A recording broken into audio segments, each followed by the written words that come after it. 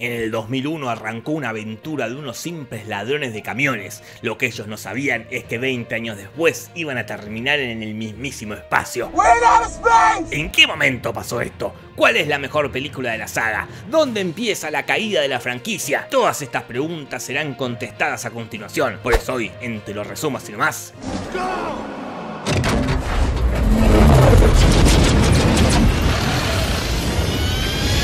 La evolución y caída de Rápidos y Furiosos. Eso es Rápido y Furioso. Claro. Creo que para analizar esto tengo que arrancar desde el principio, pero desde el principio principio. Let's get to work. 1955 se estrena The Fast and the Furious, una película de John Ireland que no tiene un carajo que ver con Rápido y Furioso, pero se llama igual. Año 1991 se estrena Point Break, película donde Keanu Reeves es un agente del FBI que se infiltra en una banda de surfistas que también son ladrones de bancos. Ahí se enamora de una de las integrantes y se hace muy amigo del líder. Año 1998, el escritor y periodista Ken Lee escribe un artículo en la revista Racer X sobre las carreras ilegales o picadas, como le decimos acá en Argentina. Y el artículo lo enfoca en el dominicano Rafael Esteves, uno de los corredores más importantes y líderes de las picadas. Este artículo llega a mano de los directivos de Universal y como Hollywood se estaba encaminando para el lado de las sagas con X-Men, Misión Imposible 2, El Señor de los Anillos y Harry Potter, decidieron iniciar su propia saga de carreras de autos. Agarraron el nombre de aquella película de 1955, la trama de Point Break, el guionista de esta película, de esta otra y de esta serie animada, el director de esta biopic y de esta película, y con un presupuesto de 38 millones de dólares empieza la producción de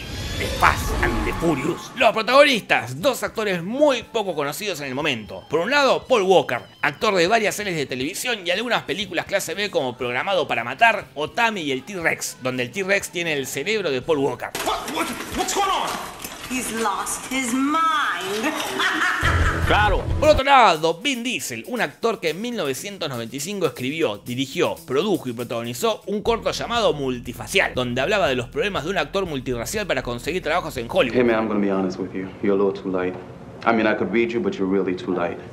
Ah, that's alright. Um, El corto podría haber quedado en la nada, pero un conocidísimo director de cine llamado Steven Spielberg lo vio Steven Spielberg saw your short film. y no solo lo vio, sino que le gustó, y no solo que le gustó, sino que lo llamó a Vin Diesel para darle un personaje en su próxima película. He wants to write a role for you in Saving Private Ryan. Wow. Así Vin Diesel se hizo medianamente conocido y cayó en The Fast and the Furious. La película fue un éxito, un éxito que terminó recaudando más de 200 millones de dólares. Winning's winning.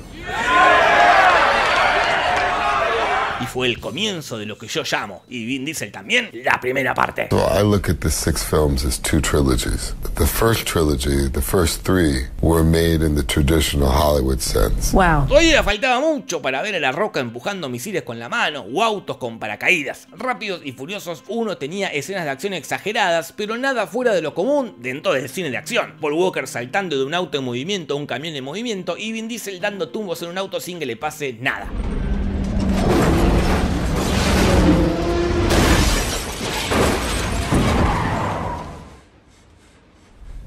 Wow. Sí, son personas normales, personas normales dentro de una película de acción, ¿verdad? Lo mismo pasa en Rápido y Furioso 2, donde lo más desopilante que se los voy a hacer es saltar con un auto hasta un barco.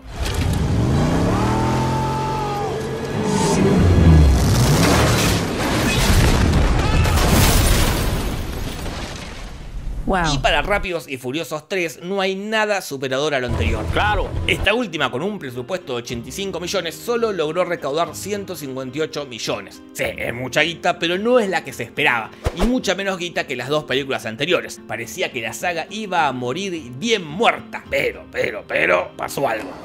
This dude over here wanna race the new DK. Pero para eso tenemos que volver a la 2. Vin Diesel no quiso estar en la segunda parte porque quería que la 1 sea una historia autoconclusiva. Y como el guion de la 2 presentaba una historia nueva, no le interesó. Además, para esa altura estaba muy ocupado siendo una estrella de Hollywood y protagonizando películas como Triple X, esta otra donde hace de niñera, y Riddick, que es también de Universal. Y como Vin Diesel quería hacer una secuela de Riddick, le pidió los derechos del personaje Universal. Y Universal le dijo, Sí, a cambio de que hagas un cameo en Rápido y Furioso Desafío Tokio. Vin Diesel aceptó. sí. Y cuando al final de la película Vin Diesel aparece, la gente en los cines explotó. Y fue ahí cuando Universal se dio cuenta de lo que garpaba de Rápidos y Furiosos no eran los autos, sino los personajes. Salute, mi familia. Así se puso en marcha Rápidos y Furiosos 4, lo que para mí es la primer bisagra de la franquicia. You know, there, there was some point in the saga, we just said, fuck it. and we said, we're going to embrace the fact that these are proletarian heroes. They don't have to wear capes and still somehow making the world a better place. Con un presupuesto de 85 millones de dólares, con la dirección de Justin Lee, con el regreso de todo el elenco original y con la idea de sacarle el protagonismo a las carreras y enfocarse más en la acción, en el espionaje y en los personajes, Salute, mi familia. en el 2009 se estrenó Fast and Furious 4 y así empieza la película.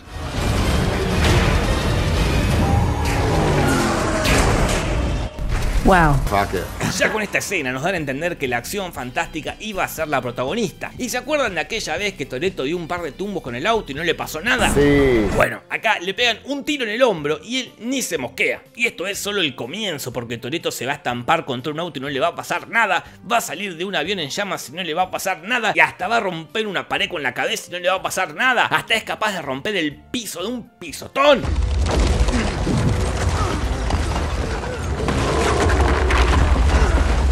Pero volviendo a las 4. La saga deja de lado las carreras para darle lugar al espionaje. Pero en esta película pasa algo más. Un personaje se vuelve tan, pero tan importante que fueron capaces de cambiar toda la línea temporal de la saga para traerlo de vuelta. Y ese personaje es Han. Hey Han, Han apareció por primera vez en la 3 y lo trajo exclusivamente el director de esa película, Justin Lin, que ya había trabajado con él en Better Luck Tomorrow. This is Han, Virgil's cousin. El personaje cayó muy bien entre los fanáticos, pero había un problema.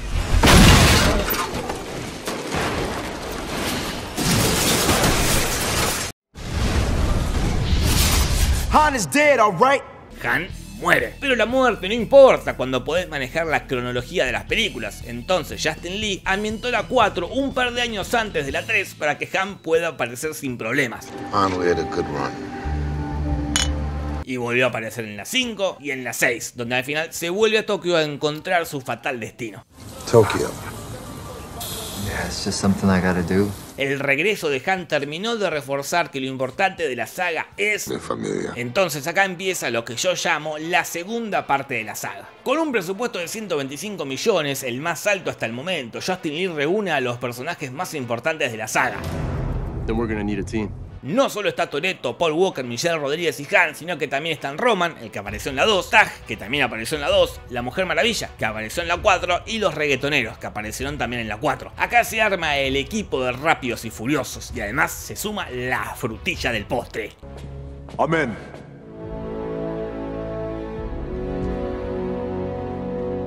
No jodas, qué bien. La Roca, un actor algo popular en el cine, pero muy, muy popular en la lucha libre.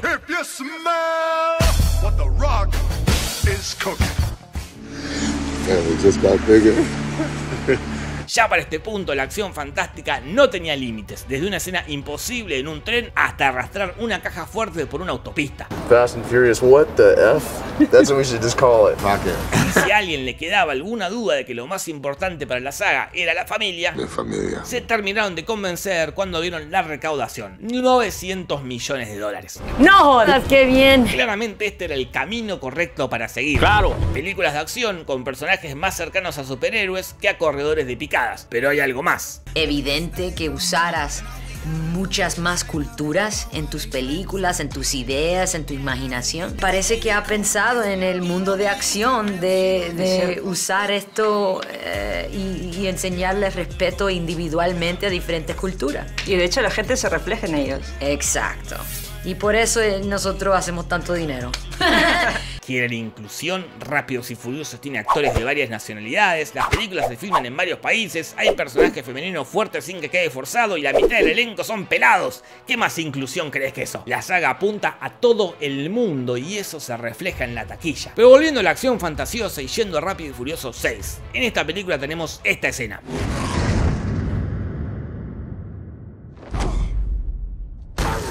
Wow. Con esta escena se cruzó el primer límite y la acción fantasiosa se convirtió en acción absurda. Esta es para mí la mejor película de la saga y por tres motivos. Primero, es la película que ya arranca con el grupo consolidado y con La Roca siendo parte del equipo de Toreto. Segundo, tiene las escenas de acción más absurdas de toda la saga. Y tercero, es la que termina de marcar el tono. Cuando Vin Diesel salta del auto, la agarra a Michelle Rodríguez en el aire y caen arriba del auto, en la escena siguiente Michelle Rodríguez le pregunta esto. Did you know that there would be a car there to break our fall?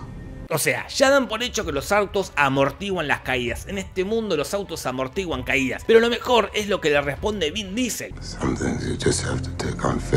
Claro, o sea, tener fe, mire con la cara de piedra que le dice eso. Pero este es el secreto de la saga de Rápidos y Furiosos. Por más que pasen cosas extremadamente absurdas, la película se lo va a tomar en serio. Nunca van a acusar recibo de que lo que pasa es imposible. Hasta Rápido y Furioso 9. Maybe we're not so normal. Pero para eso falta. Si hablamos de romper la taquilla, hay que hablar de Rápidos y Furiosos 7. Another one? Really? Con la dirección de Shane Wan y la incorporación de Jason Statham recaudó, escucha, 1.500 millones de dólares. En parte se debe al nivel de delirio de las escenas de acción, acá es cuando se tiran en paracaídas de los autos o cuando saltan de un edificio a otro edificio con el auto, pero en parte también se debe a que fue la despedida de Paul Walker. Murió el actor estadounidense de 40 años Paul William Walker, el protagonista de la saga de acción Rápido y Furioso, falleció en un aparatoso accidente de tránsito. El 30 de noviembre del 2013, en la mitad del rodaje de las 7, Paul Walker dejó este mundo. La película se pudo terminar de filmar y hasta le dieron una más que emotiva despedida a Paul. It's been a long day without you, my friend. And I'll tell you all about it when I see you again. Hey, thought you could leave without saying goodbye.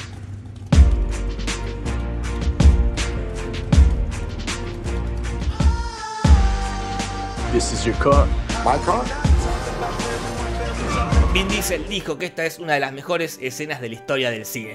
no, I think there are more metaphors in this Fast and Furious than any of the other Fast and Furious. Muchos consideraron que acá se tendría que haber terminado la saga. Pero ¿por qué terminar una saga que acaba de recaudar 1.500 millones de dólares? En el 2018 se estrena Rápidos y Furiosos 8. Another one? Really? Que con un presupuesto de 250 millones de dólares, la más cara hasta el momento, logran recaudar, escucha, 1.200 millones de dólares. Y posiblemente acá sí debió haber terminado la saga porque ahora viene lo que para mí es la segunda bisagra de la saga y el comienzo del fin. Rápidos y Furiosos, el spin-off de La Roca y Jason Statham. La relación entre Vin Diesel y La Roca siempre fue tensa, o sea, dos actores protagonistas egocéntricos que tuvieron que convivir en una franquicia. La tensión fue tal que para Rápido y Furioso 7 directamente dejaron de compartir pantalla y terminó de explotar toda la mierda cuando La Roca y Jason se fueron a grabar el spin-off retrasando todo el rodaje de Rápidos y Furiosos 9. Pero ¿por qué digo que este spin-off es una bisagra? Porque acá a la acción absurda se suma la ciencia ficción. El villano de esta película es Idris Elba, un soldado mitad hombre y mitad máquina. Look at me. I'm Black Superman. Con esta película se abre una puerta para que en el futuro pueda pasar cualquier cosa. Pero hubo algo más que determinaría para siempre el futuro de la saga.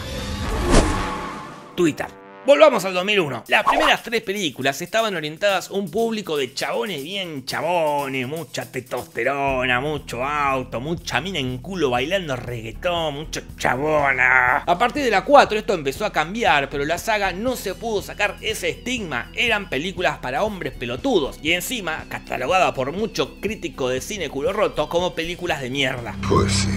Fuck you. Pero entre la 8 y el rodaje de la 9 pasó mucho tiempo y empezaron a volverse muy populares. Pasaron de ser de películas de mierda a comedias involuntarias a películas de acción respetadas. Además, convengamos, están muy bien hechas. Los millones que se invierten se reflejan en las escenas de acción que están perfectamente filmadas. ¿Absurdas? Sí. ¿Bien filmadas? También. En Twitter o en internet en general se volvió muy popular burlarse de la saga. Toda esta información llegó a oídos de los productores y así inicia lo que yo llamo la tercera parte. Arranca con Rápidos y Furiosos 9 y hay una escena que tienen un diálogo que parece sacado directamente de un hilo de Twitter. Y'all ever thought about how many wild missions we've been on? And we somehow always survive. And I ain't got one single scar to show for it. En este punto, los personajes dejaron de tomarse en serio lo que estaba pasando Something you just have to take on faith. para empezar a burlarse de ellos mismos y me parece que acá la cagaron. Pero Twitter influyó en algo más, en algo mucho más importante. ¿Se acuerdan cuál era el personaje que logró que cambiaran la cronología de la saga? Sí. Han. Sí, el mismísimo Han. Un personaje tan importante que parece que logra lo que quiera. En Twitter se hizo muy, pero muy, pero muy popular el hashtag Justice. ¿Por qué? Porque en la 6 se devela que quien lo mató fue el mismísimo Jason Statham. Por eso en la 7 es el villano. Pero en la 8 de repente lo perdonan. Y en el spin-off es un héroe. La gente se quedó pensando, ¿qué carajo pasó? ¿Por qué perdonaron al asesino del mejor personaje? Entonces en la 9, y con el regreso de Justin Lee, que parece que es re amigo del actor, Han volvió. Nice clubhouse.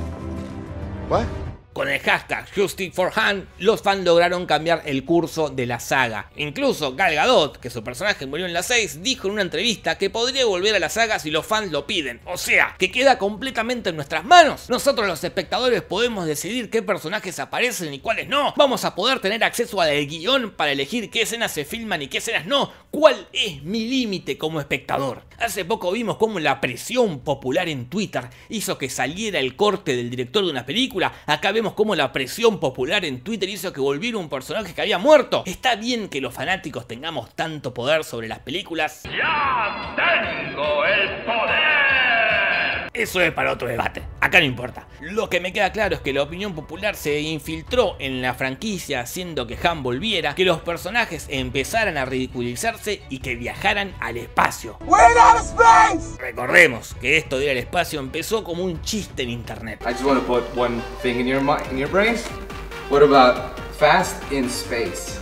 Yeah, baby! No jodas, qué bien. Considero que en este punto empieza la decadencia de Rápidos y Furiosos y a partir de acá solo quedan dos caminos. Terminar la saga en la 10 y que la franquicia muera en lo alto o seguir para volverse algo más parecido a Sharknado. It's not time travel. Would be fun.